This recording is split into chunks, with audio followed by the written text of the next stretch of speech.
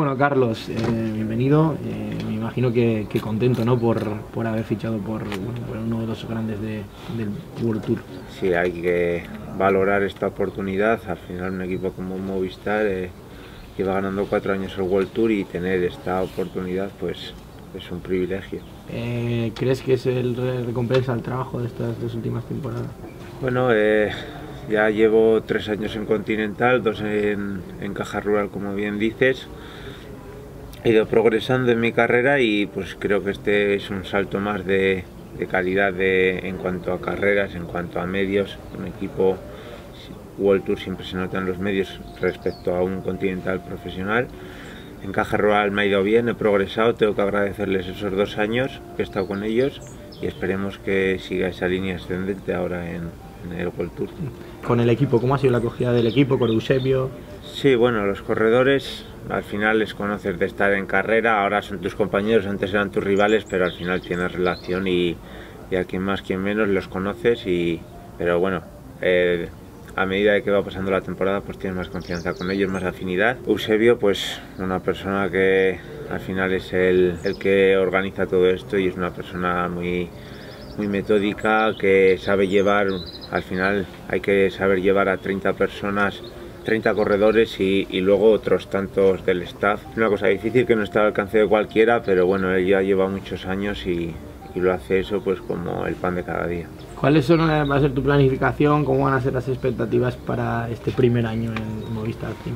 Bueno, tendré que ver lo que quieren los directores de, de mí, pero yo con que al final de año, el año que viene, en estas fechas, estén contentos con mi trabajo y si he conseguido triunfos, pues mejor, pero si están contentos con mi trabajo, yo satisfecho. Sí, de apetecer correr, pues por ejemplo, clásicas como la Milán San Remo, que es pues un monumento, o, la Astel Gold Race, pues son dos carreras que, que, me apasiona el conocerlas, el probar y luego pues muchas carreras que te da la posibilidad, pero bueno, no, no me obsesiono con ninguna carrera en, en, concreto, pues porque al final somos casi 30 corredores y el calendario va variando, hay que adaptarse a lo que te manden y, y para adelante.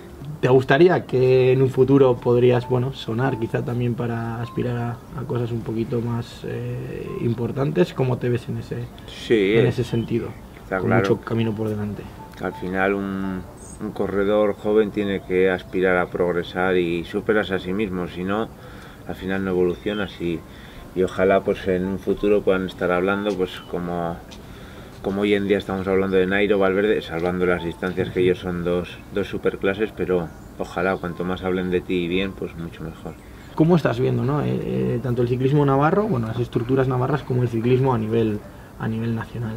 Bueno, pues bastante opuesto ese ese caso, pues el ciclismo navarro, si te fijas solo en la provincia, pues está muy bien, pues con el que, pasa corredores al, Movistar, Caja Rural con un, un, continental profesional, pero sí que es verdad que a nivel nacional pues está un poco, un poco escaso en cuanto a equipos y, y pobre, se quedan muchos corredores buenos por el camino pues por falta de oportunidades, pero diversos motivos, como muchas veces se dice la crisis o tal, pues no, no hay equipos y, y, eso resta oportunidades. Sí que cada vez pues más, más corredores buscan sitio fuera, pues porque aquí hay las plazas que hay, al final no puedes dar cabida a un, un país como España con un solo equipo World Tour y un continental profesional, al final son las plazas muy limitadas, tienen que buscarse las castañas fuera de España, pero eso hace también que, que la gente se pierda por el camino y estoy contento con esta oportunidad, es la recompensa al trabajo y solo queda aprovecharla.